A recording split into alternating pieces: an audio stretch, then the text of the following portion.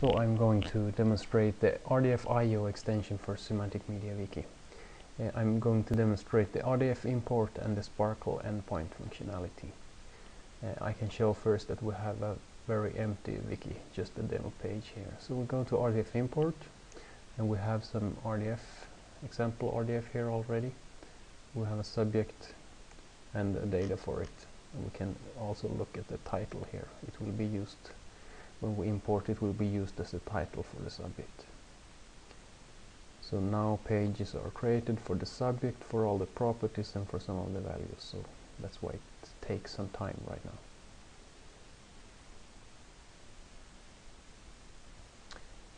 Uh, oops, recent changes.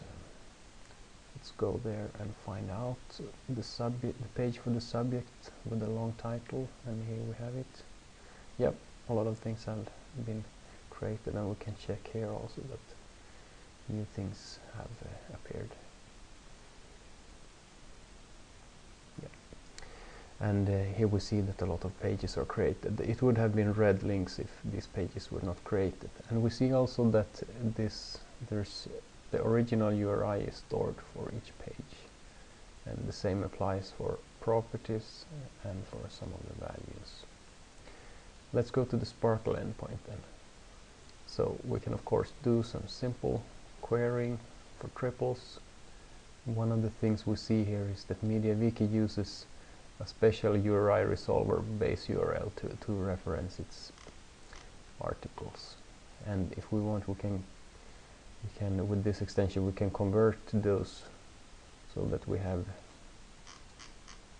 we need to remove this one so that we see the original URIs instead of these URI resolve URI, URIs, at least for some pages. And yes, indeed. So let's do something more uh, funny. Let's uh, let's uh, edit the page that we looked at before. We will insert into an empty graph. This feature is not used now. As oh, we just make something up. Yeah. like this and we need to click those.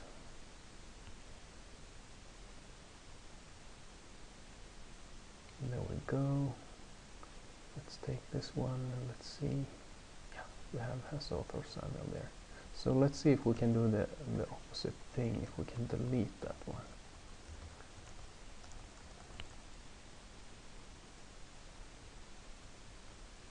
Okay, yep. So let's see. Yep, I think it's disappeared. So just to show you the, the screen again. Thanks for watching.